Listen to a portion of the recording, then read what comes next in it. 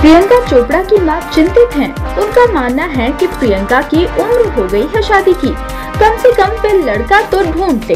दीपिका का रणवीर सिंह से रोमांस चल रहा है। कैटरीना तो हमेशा इस मामले में व्यस्त रही हैं, लेकिन प्रियंका अकेली हैं। उनके रोमांस के छुटपुट मामले रहे हैं लेकिन किसी भी शख्स को लेकर वे गंभीर नहीं रही। अभी भी उनका यही आलम है। प्रियंका का मानना है कि वे इस समय अकेली हैं और अपने काम का मज़ा ले रही हैं। शादी और प्यार जब होना है, हो जाएगा प्रियंका का कहना है कि एक लड़की की स्थिति को शादी के आधार पर ही परखा नहीं जाना चाहिए